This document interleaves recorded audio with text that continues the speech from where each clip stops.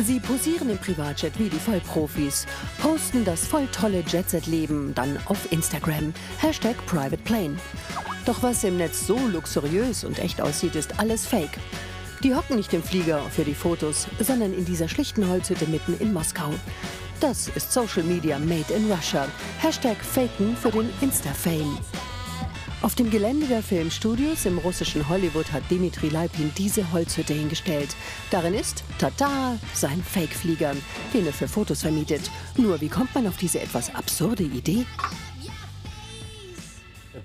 Das war sehr spontan an Neujahr 2017. Da habe ich nur spaßeshalber mal den Markt analysiert und festgestellt, sowas gibt es noch nicht. Ein Flugzeug, das man nur für Fotos mieten kann.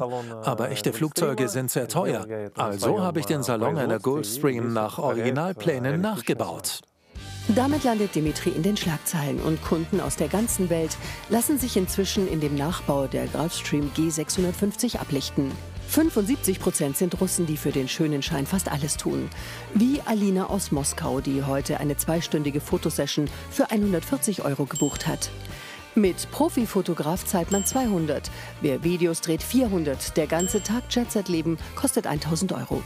Die 22-Jährige hat mit gerade mal 3196 Followern akuten Handlungsbedarf.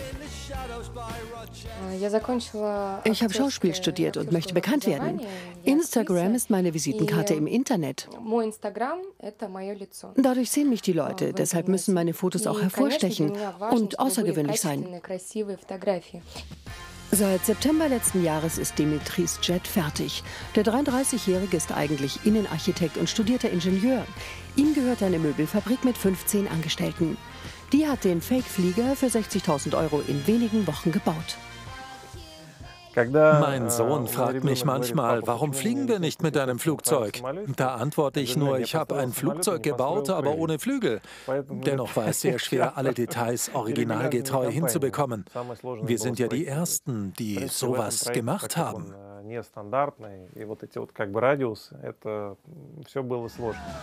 Um einen Fake-Flug vorzutäuschen, gibt's Gimmicks.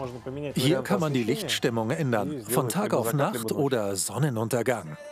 Jetzt will Dimitri sein Business aufs Rollfeld verlagern. Warum seine Mama darüber den Kopf schüttelt und ob er selbst zu den Protzern auf Instagram gehört.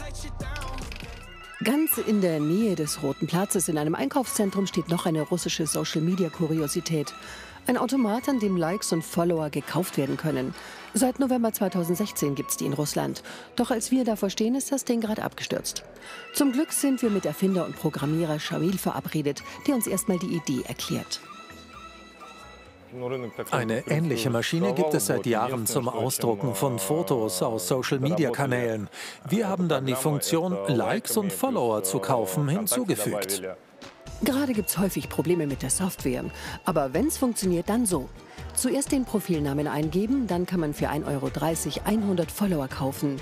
Für 70 Cent gibt es 100 Likes fürs Foto. Julia hatte für ihr Bild mit Hund 50 Likes. Nach circa 10 Minuten kommen dann die 100 gekauften dazu. Der Automat steigert das Selbstwertgefühl. Wenn du dir Likes für eine geringe Summe kaufen kannst, dann ist das doch eine super Sache.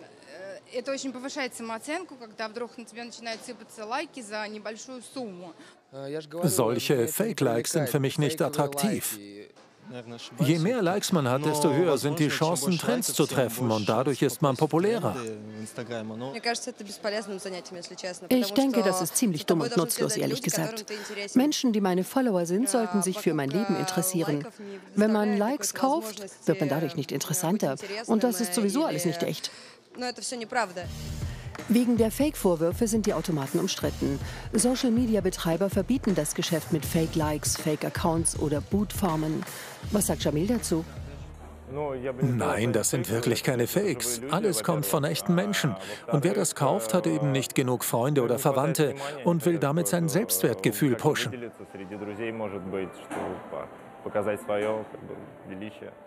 Scheinbar läuft's mit den Likes. Fast 30 Automaten gibt es derzeit in Russland.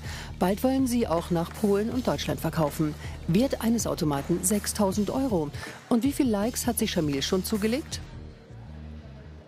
Ich mache das nicht. Mein Instagram-Profil ist meine Privatsache und nur für meine Freunde gedacht. Aber wenn es anderen Leuten Spaß macht, Likes zu kaufen, können sie das gerne tun. Immerhin finanzieren sie so auch mein Leben. Bei Dimitri ist das nicht der Fall. Der 33-Jährige verdient sein Geld mit seiner Möbelfirma und als Innenarchitekt. Auch sein Haus nördlich von Moskau hat er selbst gestaltet. Hier wohnt er mit Ehefrau Julia und dem fünfjährigen Sohn Leonid. Sein Private Jet Business war eigentlich eine Schnapsidee an Silvester, läuft aber überraschend gut.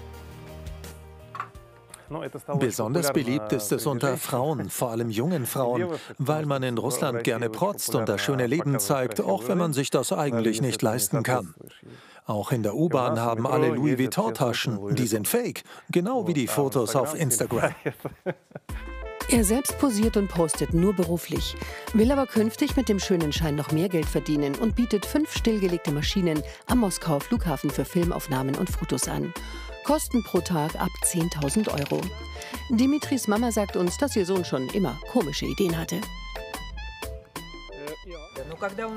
Schon in der Schule hat er sich plötzlich Kleidung genäht, Jacken, Hosen. Wenn ich von der Arbeit nach Hause kam, saß er an der Nähmaschine. Er hatte so viele Ideen, wie er das alles macht, weiß ich nicht. Tja, heute hat seine Idee Alina dazu verholfen, ihr Profil mit einem Privatjet-Foto aufzupeppen. Normalerweise bekommt sie kaum 200 Likes pro Bild. Für das heutige Foto gibt es 661. Jetzt hofft die angehende Schauspielerin. Es wäre schön, einmal im Flugzeug zu drehen. Ich könnte Flugbegleiterin spielen oder eine Business Lady.